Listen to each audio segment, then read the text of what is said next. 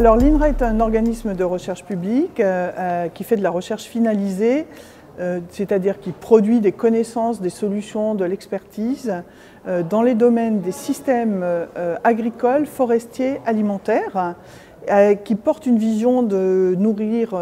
voilà, que ces systèmes puissent nourrir de façon saine et durable des populations qui ont des besoins variables, qui habitent dans des contextes variés, tout en préservant les ressources naturelles et l'environnement, en luttant euh, contre le réchauffement climatique, en s'adaptant, en étant résilient face à un certain nombre de changements globaux et euh, en étant performant à la fois sur le plan économique et sur le plan social. Hein. Les grandes orientations, pour les résumer, euh, je dirais que nous travaillons sur les transitions globale qui affecte la sécurité alimentaire et nutritionnelle à l'échelle mondiale, que nous travaillons sur euh, les performances multiples sanitaires, environnementales, sociales, économiques euh, et la diversité des, agricultures. Il n'y a pas une seule forme d'agriculture, il y en a bien plusieurs.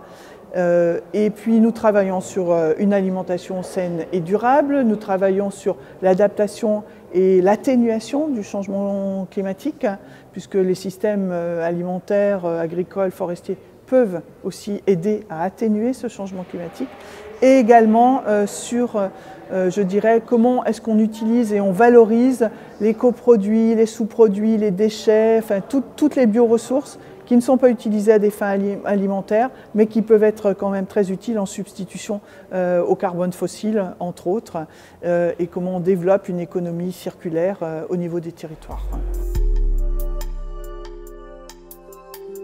Alors, au niveau français, on collabore avec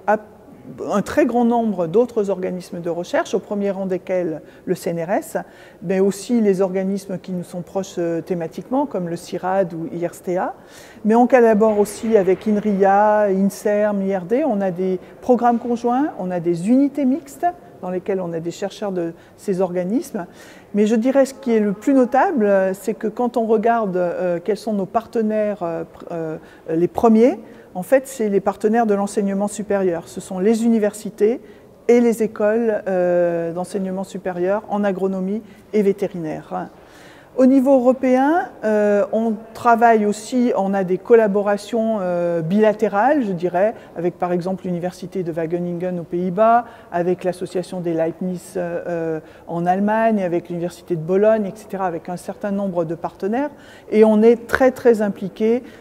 dans les programmes de la Commission européenne, à la fois sur des infrastructures partagées, sur des programmes de recherche collaboratifs, sur des programmations conjointes. ça représente je dirais que 30% de nos chercheurs, à peu près un tiers de nos chercheurs, euh, sont impliqués dans ces programmes au niveau européen. Ça représente 25% à peu près, euh, c'est une source de financement, 25% hein, à peu près de nos ressources contractuelles euh, viennent, de, viennent des programmes européens. Donc une très forte activité au, niveau européen. C'est une vraie question, un vrai sujet qui, n'appelle pas une réponse euh, simple. Euh, je dirais que euh, la première des choses, c'est sans doute d'impliquer et de s'impliquer, nous, en tant qu'acteurs, parmi d'autres acteurs, très tôt, dès la conception des projets, et de maintenir ce dialogue, voire de réaliser ensemble, en partageant, en étant ensemble sur certains sites, en faisant ensemble les, recherches, voilà, tout au, long, des projets et en allant le plus loin possible euh, dans la maturité technologique, c'est-à-dire en accompagnant euh, vraiment euh, ce que la connaissance permet de transformer en solution et d'aller vraiment jusqu'à voilà, la mise en œuvre, l'appropriation, l'application. Donc c'est vraiment un continuum à travailler et à travailler avec les partenaires, dont des agriculteurs, entre autres, ou des représentants d'agriculteurs, très en amont. L'autre chose, c'est que l'INRA est forcément sur de la recherche, donc sur de la connaissance, de la production de connaissances, et euh, euh, se coordonne et doit se coordonner de mieux en mieux et s'articuler avec des acteurs qui sont plus dans le développement, par exemple les instituts techniques agricoles, ou des acteurs qui sont beaucoup plus dans le transfert et dans le conseil, les chambres d'agriculture. Donc là, on a mis récemment en place, on a signé une convention au dernier salon de l'agriculture pour créer une cellule nationale de coordination recherche, innovation, transfert entre ces, acteurs, INRA, Institut technique et Chambre d'agriculture. C'est réellement les deux, points, euh, majeurs. Le troisième point sur lequel euh, sans doute il y a encore des efforts à faire, c'est les efforts de formation. Euh, alors évidemment, euh, en tant qu'INRA, on est impliqué sur la formation enseignement supérieur euh, avec nos partenaires universitaires et,